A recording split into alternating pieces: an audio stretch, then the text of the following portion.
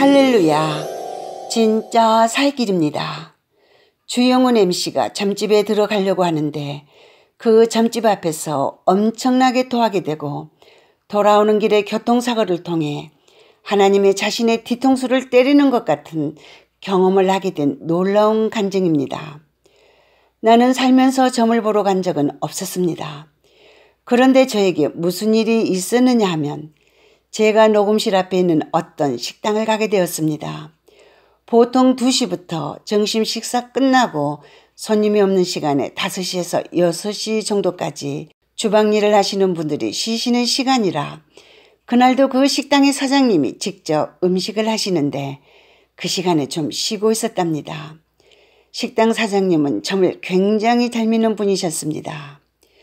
그런데 그날 식당 사장님이 자주 가는 단골인 무당 되신 분이 전화가 왔는데 너 지금 일어나서 음식 차려. 귀인이 오셔 막 이랬다는 겁니다.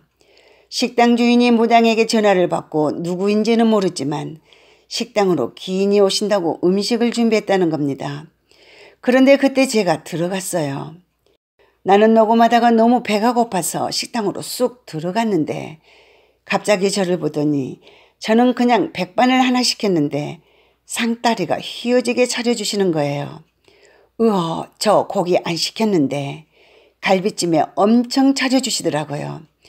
아, 이런 음식점이 있구나 하고 단골이 되었는데 그 후로 그 식당 주인이 제가 녹음실에 온다는 것만 듣고 녹음실에 음식을 미리 가져다 놓으세요. 그리고 저한테 연락처를 달라고 하셔서 가르쳐 드렸는데 매일 무당한테 저에 대한 점을 보고 저한테 내용을 얘기해 주시는 거예요. 저한테 뭐 어쩌고 조심하세요. 우리 주용훈 작곡가님 뭐 어떻게 하시고 그쪽은 가지 마시고 왜요 그랬더니 제 말 꼭 들으세요. 주용훈 작곡가님은 기인이십니다. 그러시면서 계속 저를 섬기시는 거예요. 나는 그냥 백반 먹으러 갔다가 그분이 굉장히 오랫동안 저를 섬기셨습니다. 그분이 식당을 옮기셔도 꼭 와달라고 하고 굉장히 저에게 호의를 많이 베푸셨는데 그러다 연락이 자연스럽게 끊겼어요. 저는 한동안 그분 덕에 엄청 음식을 잘 먹었습니다. 저는 처음에 몰랐어요. 저는 내용을 모르고 있다가 나중에 그 식당 주인이 그 얘기를 해 주셨던 것입니다. 무당이 말하기를 귀인이 식당으로 온다고 했는데 그때 주용훈 작가님이 식당에 들어오셨기에 저는 주용훈 씨를 귀인으로 여기고 있습니다. 라고 식당 주인이 말을 했습니다. 이 얘기를 들었을 때 솔직히 그때 끊었어야 했는데 속으로 아 이게 웬 떡이야 라고 생각을 했습니다. 저를 귀인이라고 불렀던 그 식당 주인이 그 무당분하고 자주 전화를 했었고 나에 대해서 점을 본 내용을 듣다 보니까 그분의 얘기에 저도 흔들렸던 시간이 있었어요. 그때 심적으로 제가 굉장히 힘든 일이 생겼었어요.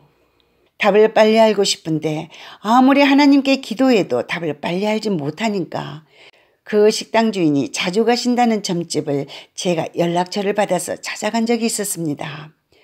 저는 평생 목회자 아들로 그런 걸 상상도 못 해보았고 신문에 오늘의 운세도 안 보던 사람인데 태어나서 처음으로 제가 심적으로 약해지니까 제 발로 찾아가게 되더라고요. 내 문제에 대해서 빨리 언제인지 제가 답을 빨리 듣고 싶고 너무 제가 쭉쭉 말라가고 심적으로 괴로울 때라서 무당을 찾아가게 된 것입니다. 그 무당이 문을 탁 열었습니다. 문이 딱 열렸는데 그 안에 우리가 TV에서 봤던 그들의 신의 모습을 제가 딱 보자마자 제가 들어가지 못하게 무언가 큰 힘이 저를 퍽 치는 거예요.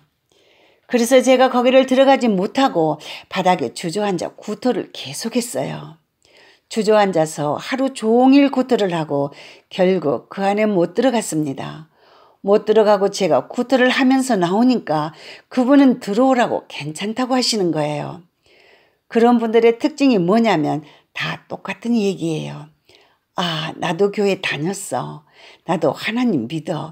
이러면서 나를 들어오라는데 제가 거길 못 들어갔어요. 결국은 못 들어갔습니다. 그리고 제가 그날 내가 뭐 하는 짓이지 하면서 차를 타고 집에 오는 길이었는데 신호등 앞에 걸려서 멈춰 있을 때 그때까지 계속 구토가 나는데 그런데 어떤 택시가 와서 그 화난 대낮에 이유도 없이 가만히 멈춰 있는 제 차를 그냥 때려박는 거예요. 빨간불 신호등에 서 있는데 말입니다. 그런데 내 차를 박은 택시기사가 너무 죄송하다는 거예요. 그래서 왜 그러셨냐니까 자기도 모르게 실수로 박았다는데 그때 정신이 확 드는 거예요. 그때 저는 택시 기사님께 괜찮다고 그냥 가시라고 했습니다. 그러나 그 기사님은 보험회사에 연락하여 처리하자고 하셨죠.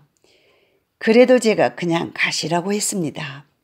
저는 그때 하나님이 제 뒤통수를 때린 것 같은 그런 느낌을 받았었어요. 그래서 그 후론 그런 상상도 못했지만 결국은 뭔가 빠른 답을 원할 때 심적으로 면역력이 약해질 때 결국은 귀신의 힘을 빌게 된다는 생각이 그때 들었습니다. 여러분, 주영훈 씨의 간증을 잘 들으셨습니까? 마귀는 친절하고 굉장히 잘해주고 아는 척하고 도와주는 것 같지만 결국은 그 영혼을 훔쳐서 그 영혼을 자기가 갈 지옥으로 끌고 갑니다. 그들의 종착지는 불타오르는 지옥입니다.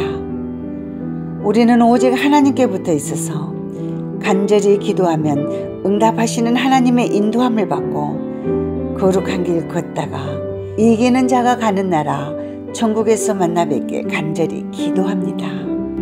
지금까지 진짜 살길이었습니다.